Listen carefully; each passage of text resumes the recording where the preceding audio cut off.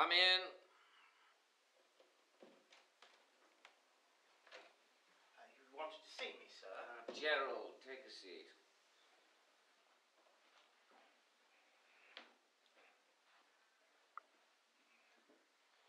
What have you got to say for yourself? I don't understand, sir. Your absence has really put us in a bind around here. Takes time to train up a substitute, you know. I, I'm sorry, sir. I needed the time to recover. How can I be sure you were even ill? But, sir, I, I've been suffering from depression. Two weeks. It's too long. Seems like longer, and I've had enough. I'm going to have to write to your doctor now. Well, that's fine, sir. And if you don't like it, I'll have to dismiss you. Just because you're feeling depressed doesn't mean we all have to suffer and be miserable. But for now, I'm just going to give you